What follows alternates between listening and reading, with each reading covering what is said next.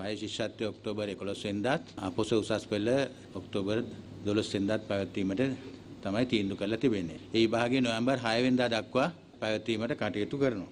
දෙවන වාර නිවාඩුව දරුවන්ට ලැබෙන ඔබ දන්නවා ඔබ සියලු දෙනාම අගෝස්තු මාසයේ එන විභාගෙත් එක්ක දෙවන වාර නිවාඩුවක් ලැබෙන. ඒ නිවාඩුව ඔක්තෝබර් මාසයට විතැන් වෙනවා. ඒ අනුව ඔක්තෝබර් මාසයේ 9 වෙනිදා සිට නොවැම්බර් 16 වෙනිදා දක්වා ශිෂ්‍යයන්ට දෙවන වාර නිවාඩුව ලබා දීමට කටයුතු කරනවා.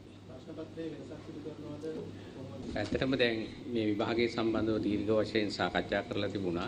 ලොකුම ප්‍රශ්නේ තිබුණේ අර පිටපලාත්වල විශේෂයෙන් විශේෂ නිර්දේශ ආවරණය කිරීමක් සිදු වුණේ නැහැ කියන මතය. ඒ අනුව දැනට ලබා දීලා තියෙන කාලය අනුව සම්පූර්ණ විශේෂ නිර්දේශ ආවරණය කරන්න පුළුවන් වෙනවා. ඒ නිසා වෙනත් කිසිදු ක්‍රියාමාර්ගයක් ගැනීමේ අවශ්‍යතාවයක් ඇති වෙන්නේ නැහැ. එතකොට ඔක්තෝබර් මාසයේ 12 වෙනිදා විභාගේ පටන් අරන් නොවැම්බර් මාසයේ 6 වෙනිදා අවසන් වෙනවා. ඒ එතකොට පරණ සුපුරුදු ආකාරයේ අපි විභාගය පැවැත්වීමට තමයි කටයුතු යොදා තිබෙන්නේ. ප්‍රතිඵල ලේඛන ප්‍රතිඵල සහතික ලබා ගැනීම මේ සියල්ල මාර්ගගත ක්‍රමයේ ඔස්සේ එනම් මේ ඔන්ලයින් ක්‍රමයේ ඔස්සේ ලබා ගන්න පහසුකම් සලසා තියෙනවා. ඒ අනුව පැය 48ක් ඇතුළත Tamanට ශීඝ්‍රගාමී තැපෑලෙන් ඒ සහතිකයේ නිවසටම ලබා දීමට අවශ්‍ය කටයුතු යොදා තිබෙනවා. ඒ නිසා කිසිදු නවතා දැමීමක් සිදු වෙලා නැහැ. වෙලා තියෙන අර එක් දින සේවාව පමණක් අපි తాවකාලිකව අත්ටෝල තියෙනවා. උසස් පෙළ අයදුම් කිරීම සඳහා 2019 අපට සාමාන්‍ය පෙළ විභාගයේ ප්‍රතිඵල ලේඛනයක් පෞද්ගලික අපේක්ෂකයන්ටත් ඒ වගේම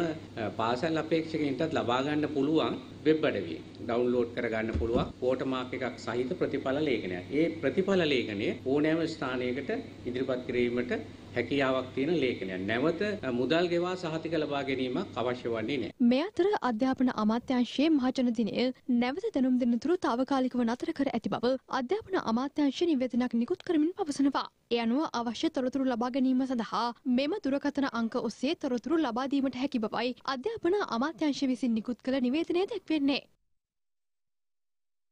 දෙනපතා අලුත් වීඩියෝ සහ ප්‍රවෘත්ති නැරඹීමට ඉහත බටන එක කලික් කර සියත TV සබස්ක්‍රයිබ් කරන්න.